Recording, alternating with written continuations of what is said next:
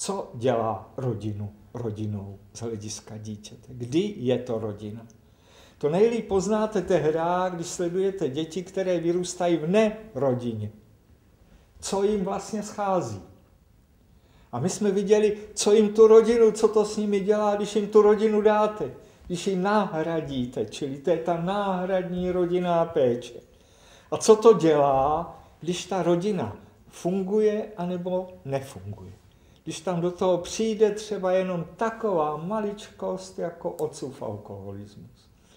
Je to k poznání, není to k poznání, za jakých okolností, co to dělá, co to s tou rodinou dělá. Čili vidíte takový prostě různé zdroje poznatků, které když dáme dohromady, tak to dokážeme vyjádřit v několika jednoduchých, řekl bych, poučkách. Pět základních potřeb. Stimulace, podněty. Centrální nervový systém musí být nabuzen a musí se mu dostávat dost podnětu. Náležité kvalitě, eh, množství a proměnlivosti.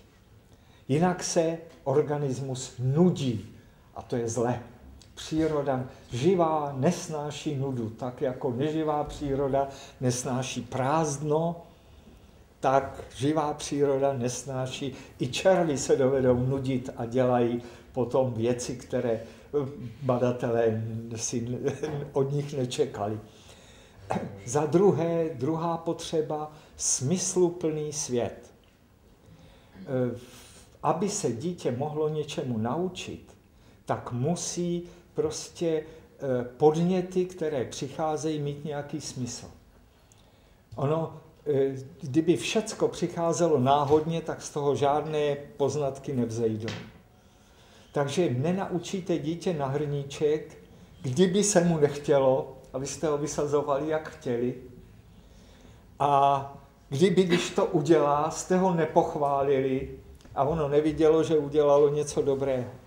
Když dítě dělá paci, paci, takhle, tak to ono právě umí prostě udělat tohleto, ale že to je paci, paci, to je, na to přijde, když všichni okolo se seběhnou a říkají paci, paci, a no to je ohromný.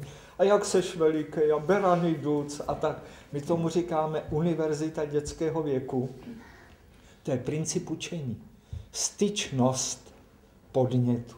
Ono to má nějaký význam.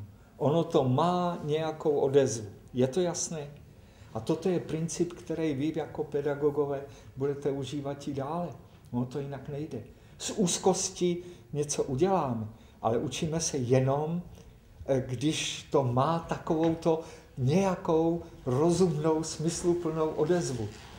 Děti se neučejí pro lásku k vědě, nýbrž pro radost svým lidem.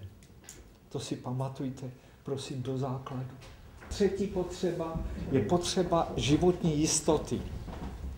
To je potřeba, která v celém eh, prostě mm, říši živočišné je jedna z nejdůležitějších. Jestliže nás ovládá úzkost a strach, tak prostě eh, nás to ne, eh, žene k tomu, abychom si chránili život, ale ne, žene nás to k nabývání vědomostí a poznatku. A naše taková průpovídka je, že teprve s jistotou v zádech se dítě vypravuje na dobrodružné výpravy za poznáním světa. Čili ta jistota. Jestliže má dítě strach, tak je nenaučíte. Tady je další, můžeme z toho vyvodit Eh, poznatek psychologický, odměna buduje, trest jenom zastavuje. Trest sám nic nebuduje. Ten může zastavit, ale neudělá nic. Čili životní jistota. Čtvrtá potřeba je pozitivní identita, vědomí, co jsem, zač stojím, co znamenám pro druhé lidi, co prostě můžu, v jakém vztahu jsem k ním a v jakém vztahu jsou oni ke mně. A pátá potřeba je potřeba otevřené budoucnosti. To znamená výhled dopředu, poněvadž jeli budoucnost zavřená a nemáme-li nic před sebou, tak to znamená zoufalství. To je konec prostě, vši, konec vší naděje prostě je prakticky smrt. Že to je, to je konec života.